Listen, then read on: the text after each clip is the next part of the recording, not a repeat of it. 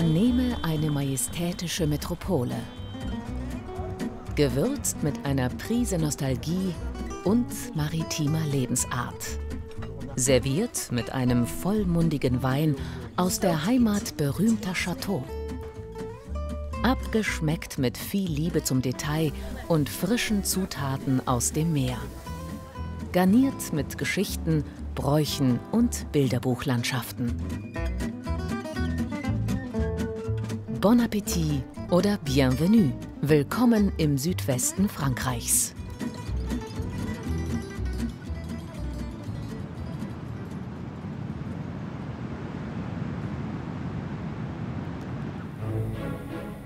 Bordeaux weiß sich in Szene zu setzen. Die Schöne im Herzen der Region Neuaquitanien ist aus dem Dornröschenschlaf erwacht und strahlt über das ganze Gesicht. Golden mit frisch gesäuberten und vom Ruß der Abgase befreiten Fassaden. In Frankreich munkelt man schon länger, Bordeaux ist eine ernstzunehmende Konkurrenz für Paris.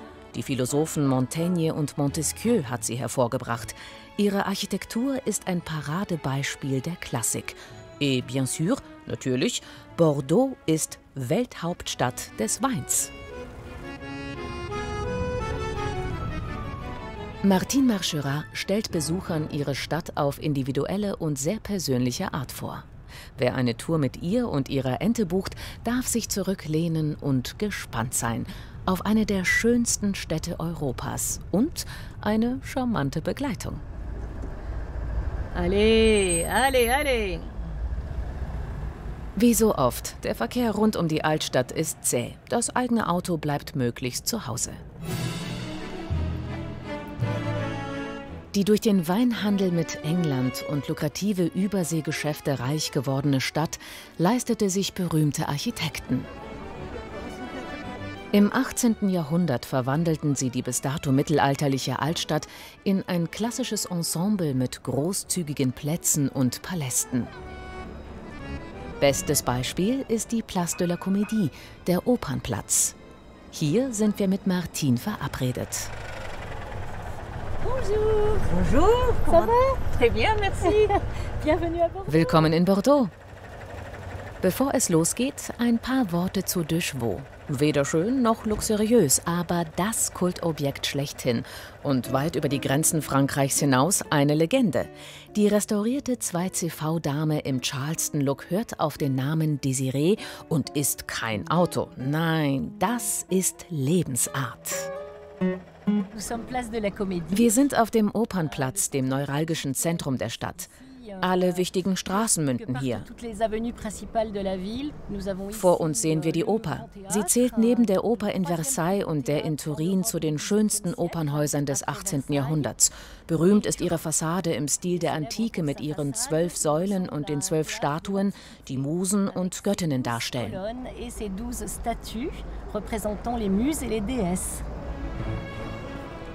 Ein Werk des Architekten Victor Louis, ebenso wie das Grand Hotel auf der gegenüberliegenden Seite. Der ursprüngliche Eigentümer und Auftraggeber des Prachtbaus war nicht gerade bescheiden.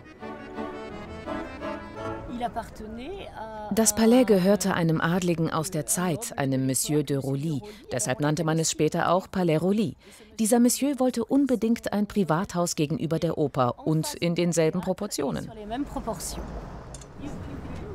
Monsieur de Rouly hat sicherlich Aufsehen erregt. Martins de Chevaux übrigens auch. Die chinesischen Touristen kriegen einfach nicht genug. Von wegen hässliches Entlein.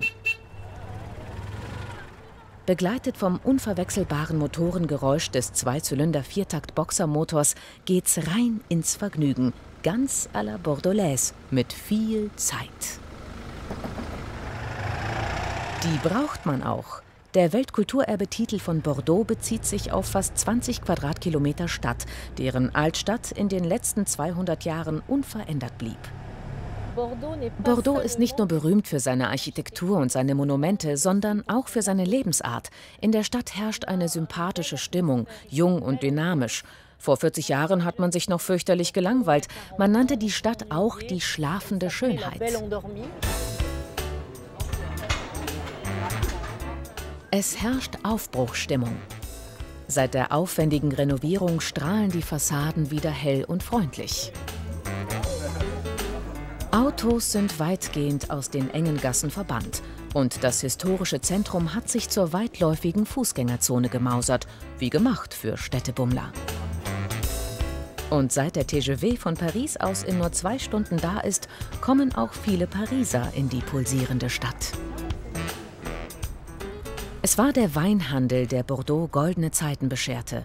Der bogenförmige Hafen, der Mondhafen, wurde das Fenster zur Welt, der Dreh- und Angelpunkt unterschiedlichster Einflüsse, auch der kulinarischen. Wer einen Eindruck der Vielfalt bekommen möchte, bummelt sonntags über den Wochenmarkt am Ufer der Garonne. Die Nähe zum Meer, Einflüsse aus den spanischen Pyrenäen und das fruchtbare Hinterland haben den Speiseplan Bordeaux geprägt. Der sonntägliche Markt gehört zum positiven Lebensgefühl einfach dazu und ist ein Beleg dafür, wie gerne hier gegessen wird. Dieser Monsieur bietet Schnecken in Kräutersoße und solche à la Bordelaise mit Tomaten, Zwiebeln, Weißwein und spanischer Chorizo-Wurst.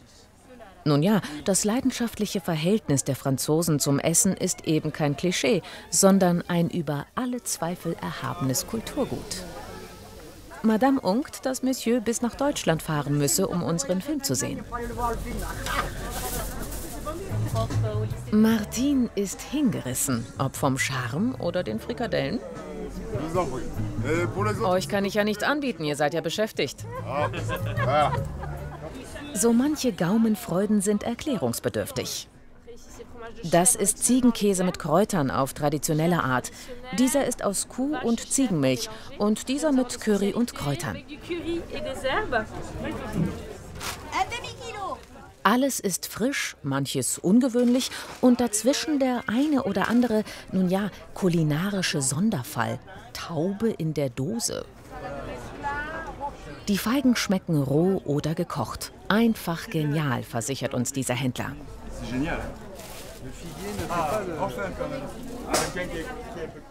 Die Rezeptur dieser kleinen Kalorienbomben ist ein Mysterium. Fest steht, Canelés bestehen aus viel Eigelb, sind innen herrlich weich und außen knusprig süß. Martin hat eine mögliche Erklärung für die Herkunft.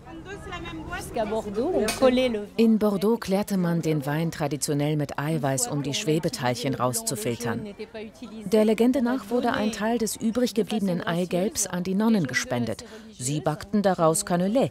Das Rezept ging irgendwann verloren, aber seit ungefähr 30 Jahren sind die Canelés das Prestigeprodukt der Stadt Bordeaux.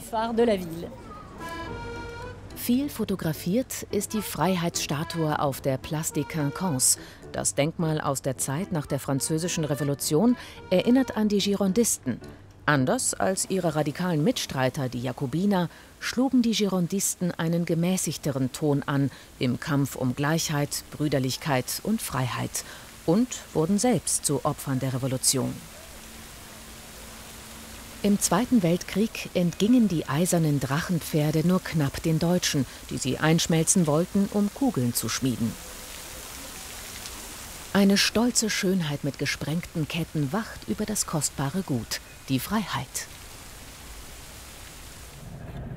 Entspannt navigiert Martin durch das Labyrinth der Gassen der nächsten Sehenswürdigkeit entgegen. Bordeaux ist die reinste Fundgrube.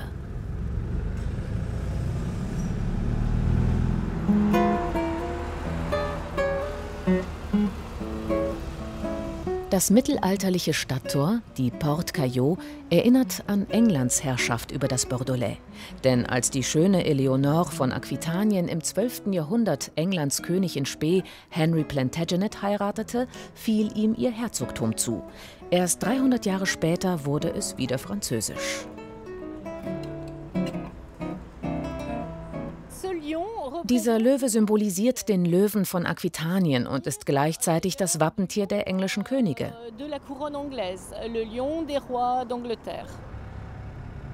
Der Stoff, aus dem die Geschichten sind, ist in Bordeaux ellenlang. Gut gefedert rollen wir dem nächsten der über 350 denkmalgeschützten Monumente entgegen. Das ruft nach einem kurzen Päuschen. Zu Füßen der Kathedrale Saint-André wirkt die gotische Pracht überragend. Hier ehelichte Eleonore im Jahr 1137 ihren ersten Gatten, König Ludwig VII. Gut lief es nicht zwischen den beiden. Sie wurden geschieden und auf den Franzosen folgte, wie gesagt, der zehn Jahre jüngere Engländer Henry. Die Bordeläser verehren sie bis heute, ihre kapriziöse Eleonore. Der Glockenturm steht abseits der Kathedrale, wie ein italienischer Campanile. Man fürchtete, die Vibration der schweren Glocken könnte die Kathedrale beschädigen. Dass er neben der Kathedrale steht, ist einzigartig. Die vergoldete Figur symbolisiert, wen sonst, unsere Jungfrau von Aquitanien. Und schon geht's weiter. Das offene Faltdach und der freie Blick nach oben sind ein echtes Plus.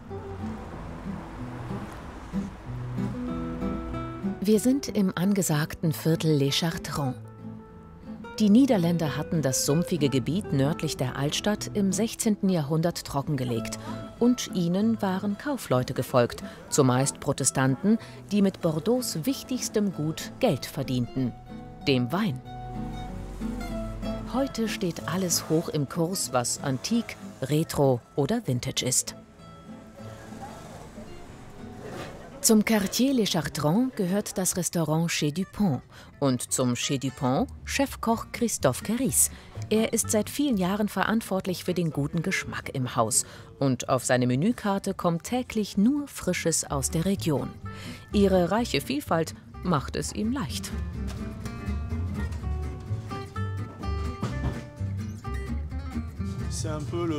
Wir befinden uns quasi an einer Kreuzung. Die Produkte der Region kommen sowohl aus dem Hinterland als auch aus dem Baskenland. Vom Atlantik, aus Royan und Arcachon, kommen die Meeresfrüchte und Fische. All diese Produkte werden auf unterschiedliche Weise verwendet. Und das macht die Küche des Bordelais aus. Im eigentlichen Sinn eine sehr bürgerliche Küche, die eng verhaftet ist mit den Traditionen der Region. Das sind Tricondis, fein geschnittene Schweinekutteln mit Knoblauch gegrillt, mit Sherry-Essig abgelöscht und mit frischer Petersiliensoße angerichtet, erklärt Christoph Caris.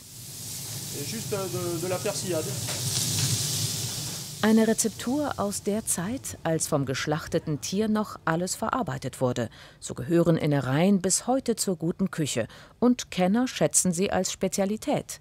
Wer will das schon in Abrede stellen, wo doch das Essen in Frankreich von nationaler Bedeutung ist und es das traditionelle französische Menü bis auf die UNESCO-Welterbeliste geschafft hat. Ja, es führt also kein Weg dran vorbei. Die Tricondis müssen probiert werden. Schließlich wollen wir uns nicht blamieren.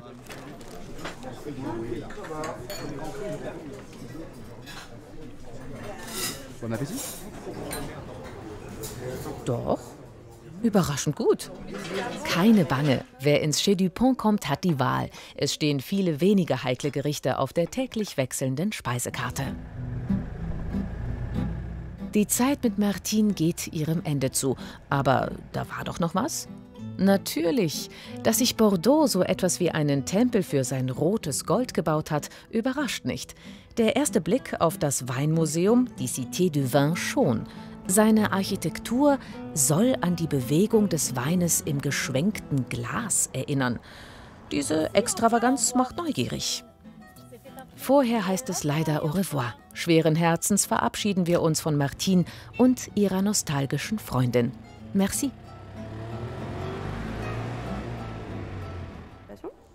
Was ist dran am Mythos Bordeaux?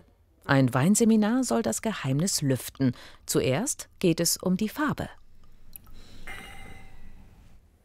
Qu'est-ce que vous diriez was würden Sie sagen? Einige Önologen beschreiben vier verschiedene Rottöne im Bordeaux, um die Weine voneinander zu unterscheiden, von orange bis fast violett. Das ist natürlich subjektiv. Wir nehmen die erste Nase. Alle Sinnesorgane sind gespannt. Ein erstes Schnuppern am Wein. Also, was riechen Sie?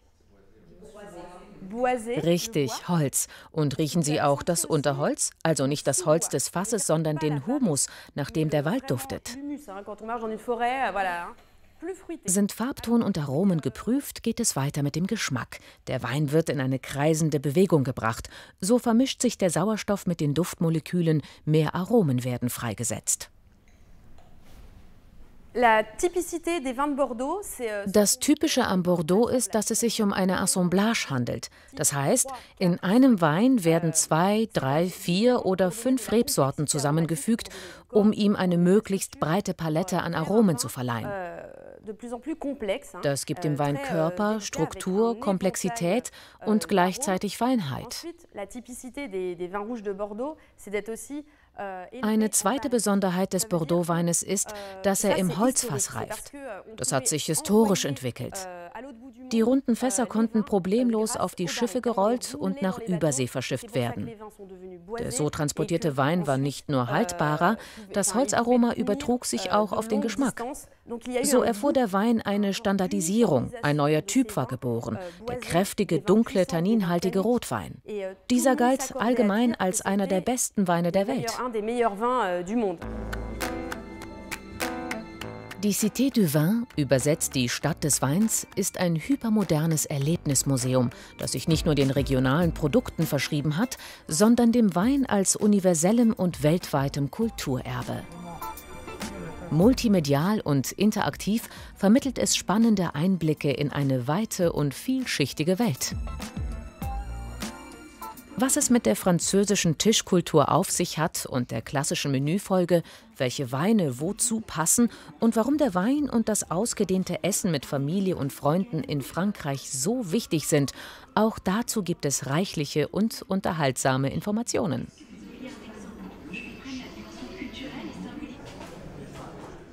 Aus 800 verschiedenen Weinen aus mehr als 70 Ländern der Erde darf man sich zu guter Letzt seinen Favoriten aussuchen, ihn probieren und zu einem erschwinglichen Preis mit nach Hause nehmen.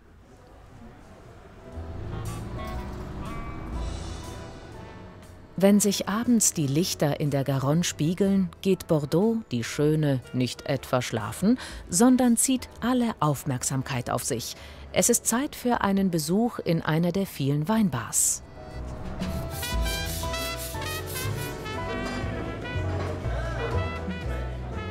Im schicken Point Rouge gibt es beides. Eine gute Auswahl an Cocktails und eine noch größere an Weinen.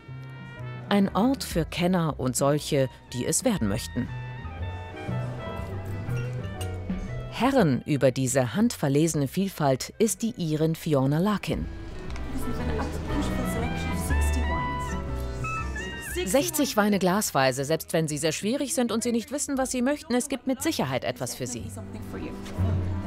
Erlesene Weine probieren, die sonst nur flaschenweise zu haben sind. Darum geht's. Dieser Gast wünscht einen runden Wein, vielleicht aus Pomerol? In meinem ersten Jahr in Bordeaux habe ich eigentlich nur Französisch gelernt. Aber wenn man sich in etwas verliebt, will man alles darüber wissen. Und als ich mich in die Kultur und die Sprache verliebte, wollte ich alles über den Wein wissen, der so wichtig ist für die französische Kultur. Das ist bei mir zur Besessenheit geworden. It just became an obsession. Die Weinliste im Point Rouge ist respekteinflößend. So manche Flasche kostet so viel wie ein gut sortierter Keller. Ein Probierglas mit 14 Zentiliter schon mal 50 Euro.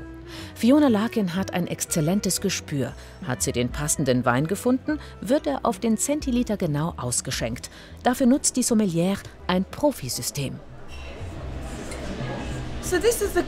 Dieses System macht es möglich, dass ich so viele Weine glasweise ausschenken kann.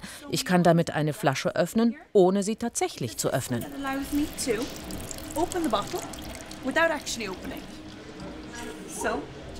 Um es mal zu zeigen. Hier bereite ich ein Probierglas für einen Gast vor. Der Trick an der Sache ist, diese Nadel sticht durch die Kapsel und auch durch den Korken in den Wein.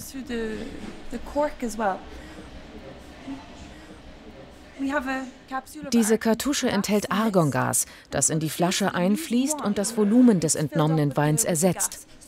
So bleibt der Wein unverändert und wir können ihn bis zu eineinhalb Jahre aufbewahren. Das heißt, ich kann 60 Weine glasweise anbieten und einem Gast ein kleines Glas eines wirklich erstaunlichen Weins zum Probieren servieren.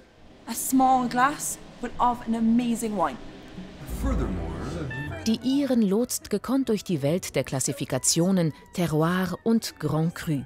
Allein die klangvollen Namen Margot, Pauillac, Saint-Emilion, Saint-Estèphe machen Lust, wenigstens einmal im Leben einen solch edlen Tropfen auf der Zunge zergehen zu lassen. Fiona verspricht, das ist überwältigend. Von Bordeaux reisen wir eine gute Autostunde in westlicher Richtung an die Côte d'Argent, die Silberküste. Zwischen dem Atlantik und der Bucht von Arcachon liegt unser Ziel, die Halbinsel Cap Ferret. An ihrer Westseite tost das für seine starken Winde, die tückische Strömung und die schweren Stürme bekannte Meer im Golf von Biscaya. Wäre der Horizont nicht im Weg, könnte der Blick bis nach Kanada schweifen. Ein nahezu unberührter Ort, wenn nicht gerade Ferien sind in Frankreich.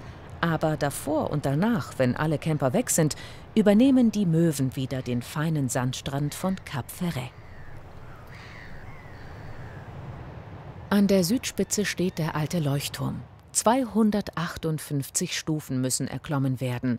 Aber dann der Blick auf die bewaldete Landzunge vom Atlantik bis zur stillen Bucht von Arcachon und auf Europas größte Wanderdüne, die Düne von Pilat, macht die Mühen des Aufstiegs schnell vergessen.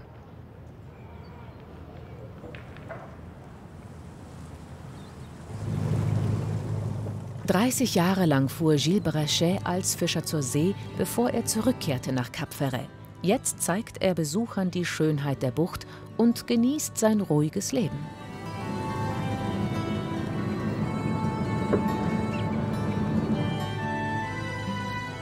Die Holzhütten der Austernfischer säumen das Ufer.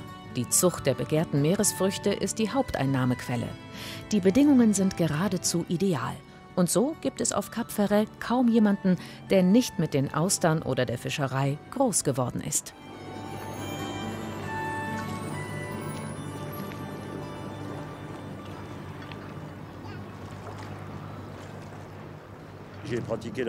Schon als Kind bin ich mit meinem Vater und Großvater zum Angeln gegangen.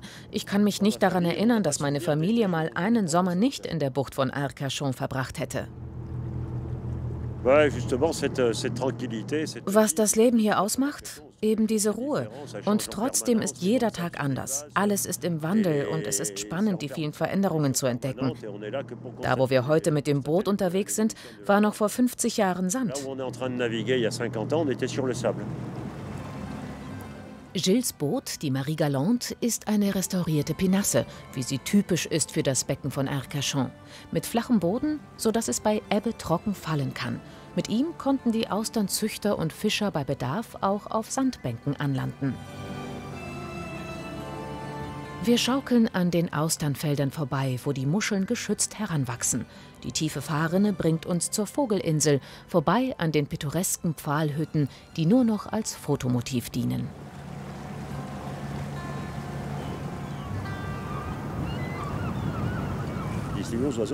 Zu Beginn der Austernzucht Mitte des 19. Jahrhunderts war die Vogelinsel dicht bewohnt. Damals wurde noch gerudert und gesegelt. Und um von Arcachon an die Austernbänke zu gelangen, brauchten die Fischer bis zu einem Tag. Und so erlaubte man ihnen, auf der Insel Feuer zu machen und ihre Hütten zu bauen. Ein Großteil der Insel steht immer unter Wasser. Das macht sie zum idealen Rückzugsort für Vögel. Die Bucht von Arcachon ist ein Überwinterungsort. Im Winter kommen über eine Million Vögel aus dem hohen Norden. Wartvögel, Enten, Gänse, Stelzvögel. Sie ernähren sich aus dem nährstoffreichen Schlamm und im Frühling brechen sie wieder auf Richtung Norden. Hunderte verschiedene Arten, darunter sehr seltene wie der Löffelreiher, kommen ab Mitte September auf die sumpfigen Salzwiesen, um zu rasten, sich an den reichen Fischgründen satt zu fressen und ungestört zu nisten. Andere sind Dauergäste im milden Klima. Ein faszinierender Naturraum, nicht nur für Ornithologen. Die Flut steht hoch, ein guter Zeitpunkt für Gilles, um uns zur Düne von Pilat zu bringen, die sich südlich von Arcachon aus dem Bassin erhebt. Ihr gegenüber an der Mündung zum Atlantik erstrecken sich kleinere Sandbänke, die, wie uns Gilles erklärt, die große Wanderdüne sozusagen mit ihrem Sand füttern.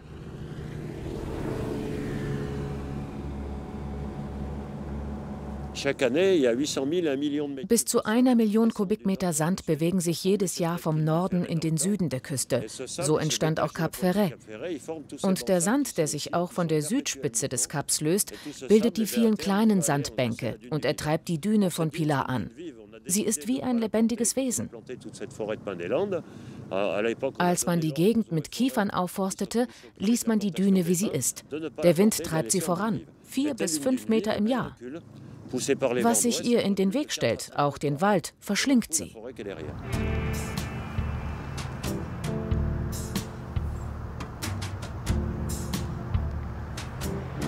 Ein wahres Ungetüm mit optimalen Windverhältnissen für Gleitschirmflieger. Wer lieber geerdet bleibt, stapft durch den feinen Sand und genießt den fast karibischen Anblick.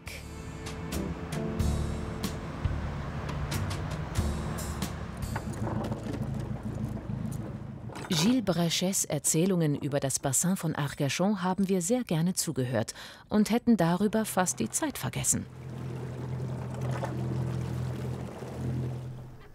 Auf Cap Ferret ist man weit, weit weg von allem. Es gibt so gut wie nichts, was davon ablenkt, nichts zu tun. Außer den Fischern und Austernzüchtern bei ihrer Arbeit zuzusehen.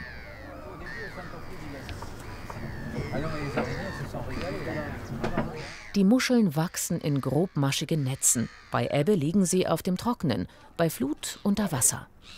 Bis zur Ernte vergehen bis zu drei Jahre. Vor dem Verzehr kommen die Austern in große Klärbecken, werden vom Schlamm gereinigt und anschließend nach Größen sortiert. Auf diese Weise werden auf Cap jährlich bis zu 10.000 Tonnen der Delikatesse produziert. Und zu guter Letzt wird sie in dieser Postkartenidylle geschlürft. Lerb ist unbestritten das hübscheste Austerndorf auf Cap Ferret. Das Hotel de la Plage ist das erste Haus am Platz. Anfangs diente es als Kantine für Waldarbeiter, die die Kiefern auf Cap Ferret melkten, um Baumharz zu gewinnen. Heute ist das Hotel Treffpunkt all jener, die das hübsche Austerndorf lieben.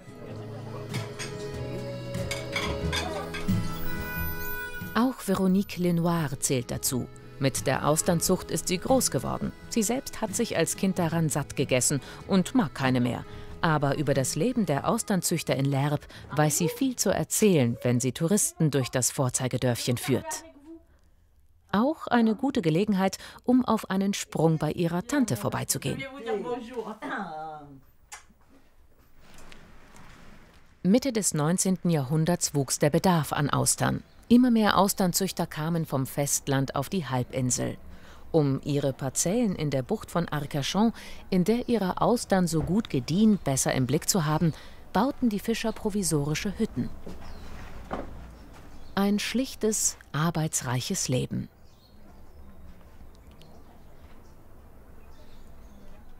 Lerb ist eines von elf Dörfern auf der Halbinsel. Übersetzt heißt Lerb Gras Vielleicht in Erinnerung daran, dass man früher die Pferde auf die nährstoffreichen Salzwiesen zum Grasen führte. Ich ziehe diese Erklärung vor. Wenn der Ostwind bläst, dann werden viele Algen an den Strand gespült, die einen grünen Teppich bilden. Das sieht aus wie Gras. Das ist alles. Hier zu leben hat seinen eigenen Charme. Im Winter, wenn Touristen rar sind, erzählt uns Veronique strikt und liest sie. Mehr gibt es nicht zu tun, außer zu Weihnachten. Dann stehen die Austern in Frankreich auf allen Speisekarten. Im Sommer braucht die Auster wieder mehr Aufmerksamkeit. Wenn es warm ist, laichen sie. Und aus den Eiern werden Larven, die sich an sogenannten Kollektoren festsaugen. Alors, traditionnellement, Traditionell benutzt man dafür diese Dachschindeln. Sie werden vorbereitet, indem man sie kalkt. Man mischt Sand, Kalk und Wasser und taucht die Ziegel hinein. Anschließend lässt man sie trocknen. Dann werden sie ins Meerwasser gelegt und die Larven können daran festwachsen. Die kleinen Punkte sind winzige Austern. Die Austernbabys heißen bei uns Nessin.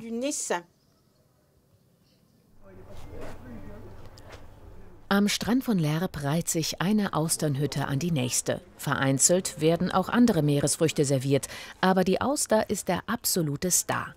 Der Muskel an ihrem spitzen Ende wird mit einem geübten Griff durchtrennt und das Unterteil, in dem das Schalentier liegt, auf zerstoßenem Eis angerichtet.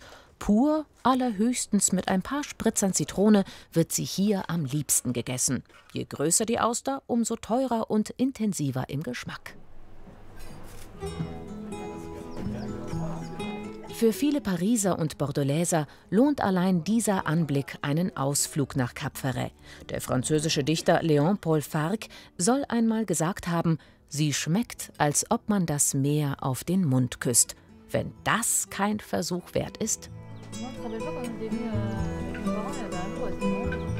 Nur hier auf Cap Ferret wird Pâté dazu serviert, eine Erinnerung an die ersten Austernfischer, die Pastete als Proviant für einen langen Tag auf See mitnahmen. Dazu knackten sie frische Austern.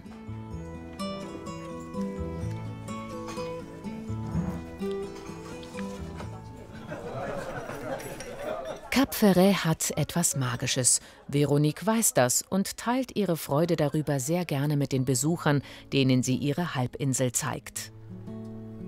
Wer den schmalen Sandstreifen einmal kennengelernt hat, möchte wiederkommen an diesen so erfrischenden, so unaufdringlichen und gleichzeitig so markanten Flecken Erde zwischen rauem Atlantik und stiller Bucht. Wenn Ebbe ist und sich das Wasser des kleinen Meers, wie die Bucht von Arcachon auch genannt wird, zurückzieht, scheint die Zeit tatsächlich einen Moment lang stillzustehen. Dann hat allein die Natur das Sagen auf Cap Ferret. Alle anderen sind Zaungäste und eingeladen zu staunen über so viel schlichte Schönheit.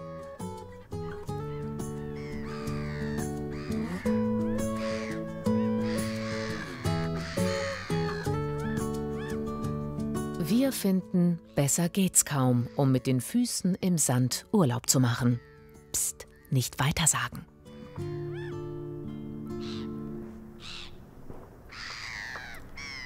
Wir kehren der Küste den Rücken und fahren ostwärts über Bordeaux in das Departement Gironde. Die Weinbaugemeinde Saint-Emilion liegt etwa 40 Kilometer östlich der Hauptstadt Neuaquitaniens im Herzen des Bordelais. Der Name Saint-Emilion ist Legende.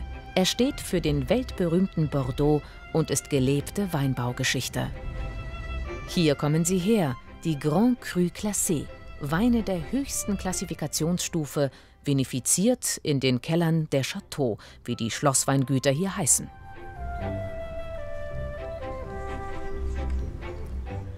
Das sanft hügelige Weinanbaugebiet war das erste, das die UNESCO auf die Welterbeliste setzte. Vielleicht, weil es in Saint-Emilion dem Menschen auf so einzigartige Weise gelungen ist, das, was Natur und Mensch geschaffen haben, harmonisch miteinander zu verbinden. Das Meer aus Reben geht über in ein Meer aus Dächern. Das Dorf Saint-Emilion bedient alle Klischees. Seine traditionsreiche Geschichte wird gepflegt und wer das Bilderbuchstädtchen Ende des Sommers besucht, darf sich ins Getümmel stürzen.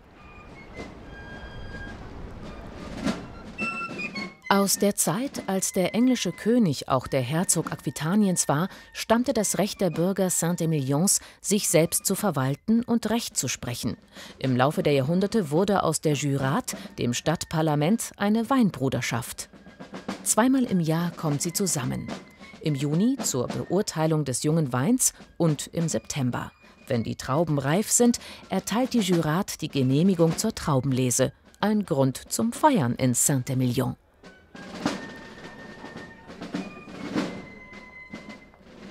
Wie einst die mächtigen Stadtherren marschieren die Juratmitglieder in roten Gewändern stolz durch den Ort. Honoratioren aus Politik und Diplomatie Künstler und natürlich renommierte Winzer sind dabei. Sie alle fühlen sich dem Wein und der Region verpflichtet. Einheimische und Gäste warten gespannt auf die Proklamation des Bon des Vendanges, dem offiziellen Beginn der Weinlese. Der ist amtlich in Frankreich. Zu diesem Zweck geht es für die Juratmitglieder rauf auf den Wehrturm Tour du Roi. Dann wird es ernst. Erst wird die Sonne beschworen, die die Ernte begleiten möge, und dann der Herbst und seine wunderbaren Eigenschaften für eine gute Ernte.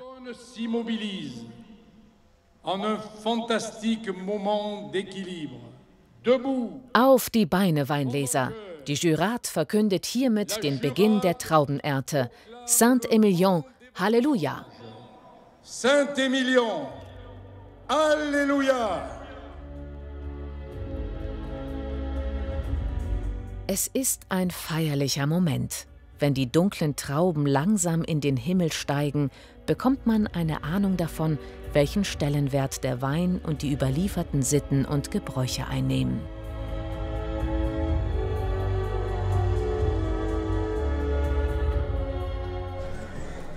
Hallo, ich bin Emeline. Willkommen in Saint-Emilion. Ich freue mich, Ihnen die Stadt zu zeigen.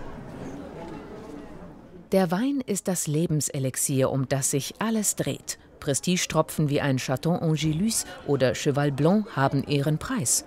Und wo man auch hinschaut, es wird geschwenkt, verkostet, beraten, verkauft.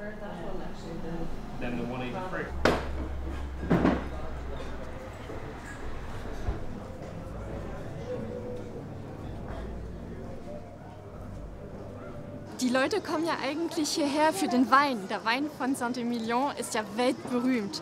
Aber es gibt so viel mehr, was man hier entdecken kann. In jeder kleinen Gasse, in jeder kleinen Straße, weil diese Stadt mehr als 1000 Jahre alt ist. Und wir freuen uns immer wieder, halt die Besucher zu diesen kleinen Details hinzubringen, damit sie das Ganze hier sehen können und entdecken können.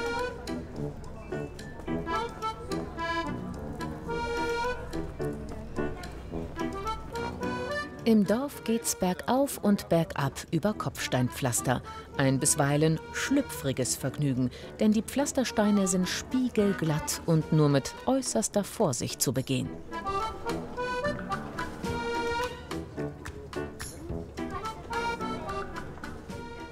Gab vor mehreren hundert Jahren äh, schon Weinhandel zwischen Bordeaux und England. Und Wein wurde nach äh, England in Booten halt geschippt und zurück, damit die Boote ausbalanciert wurden, waren, wurden Steine aus Cornwall benutzt. Und diese Steine wurden dann hier äh, in Saint-Emilion eingebaut in diesen Straßen. Eine Erinnerung an die Blütezeit des Weinhandels, in Gang gebracht durch die Heirat der schönen Eleonore von Aquitanien mit dem englischen Thronanwärter Henry Plantagenet. Das war der Beginn der Bordeaux-Erfolgsgeschichte. Viele Besucher kommen aber auch nach Saint-Emilion, weil das Städtchen auf dem Jakobsweg liegt und seinen Namen einem Heiligen verdankt, der Wunder wirkte und in einer Grotte lebte. Und mit Sicherheit sind Gäste dabei, die Saint-Emilion einfach herrlich französisch finden. Eine der Sehenswürdigkeiten ist die unterirdische monolithische Kirche, deren Glockenturm hoch aus dem Felsen ragt. Die Ausmaße der Kirche, die im 12. Jahrhundert aus dem Kalkstein gemeißelt wurde, lassen sich von außen nicht einschätzen. Emeline Azra arbeitet für das örtliche Tourismusbüro und kennt sich aus in den Gängen der Katakomben. Hohen Geistlichen und wohlhabenden Bürgern war es vorbehalten, in der Nähe ihres Schutzheiligen Emilion, der in einer Grotte neben der Kirche gelebt hatte, die letzte Ruhe zu finden.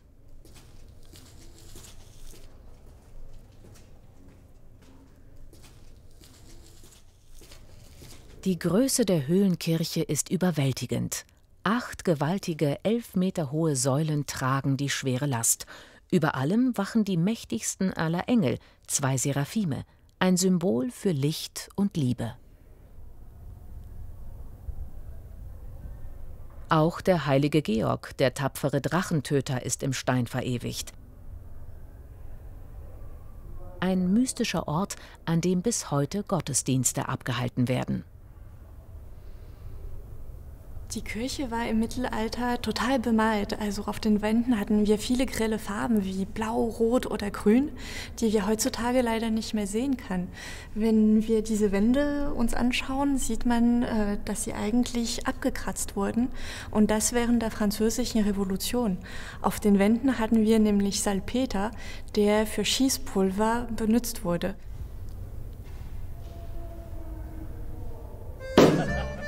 Dass in Saint-Emilion die Korken knallen, ist eher ungewöhnlich. Wir befinden uns im magischen Garten des Klosters der Cordeliers. In den unterirdischen Gewölben des Franziskanerklosters wird seit Ende des 19. Jahrhunderts Schaumwein hergestellt und oberirdisch vor romantischer Kulisse getrunken.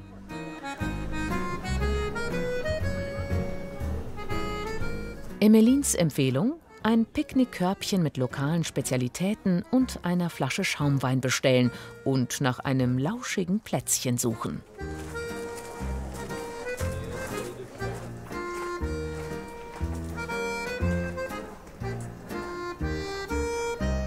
Eigentlich ist Saint-Emilion eine Rotweinstadt und nur hier im Kloster der Cordeliers wird dieser Cremant de Bordeaux produziert.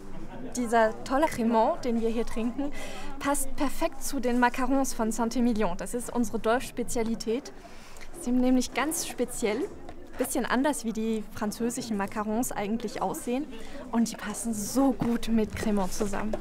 Einfach lecker. Mm, da könnte man direkt neidisch werden. Das heißt für uns, wir müssen uns auf die Spur der leckeren Macarons begeben.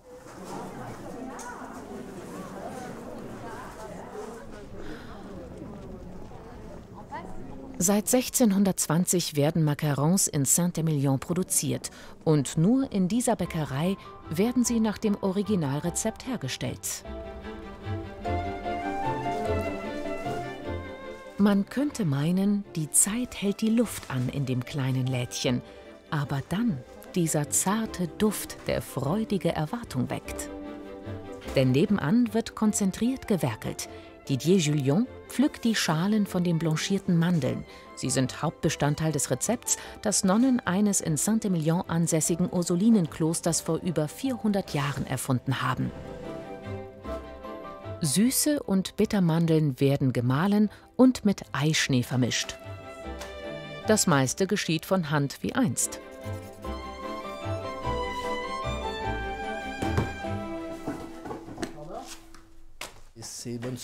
In der Zeit, als sich die Klosterschwestern das Rezept ausgedacht haben, gab es noch nicht so viele Weinreben in Saint-Emilion. Dafür aber umso mehr Mandelbäume.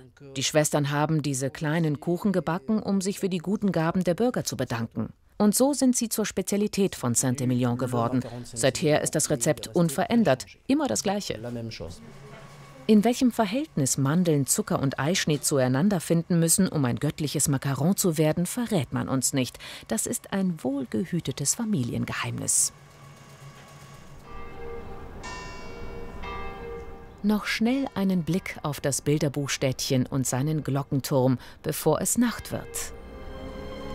Das Fest zur Verkündung der Weinlese endet traditionell mit einem Spektakel. Dann funkelt und schimmert Saint-Emilion zu Ehren der Jurat, des Weins, seines reichen Erbes und des guten Geschmacks. Das emotionale Schauspiel zieht uns in seinen Bann, wie unsere Reise von Bordeaux an den Atlantik und in eine der legendärsten Weinlandschaften der Welt. Frankreich Südwesten, seine Menschen, Landschaften und Genüsse haben unseren Appetit geweckt, die Region noch besser kennenzulernen und mehr von ihrem Zauber zu kosten.